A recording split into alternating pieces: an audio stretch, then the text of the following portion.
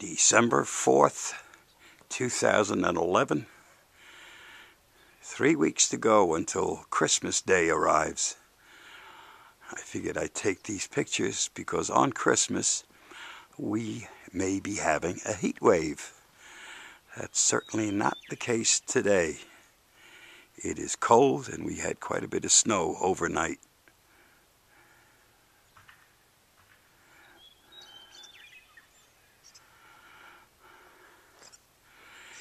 Barely make out the mountains. It looks like more snow coming.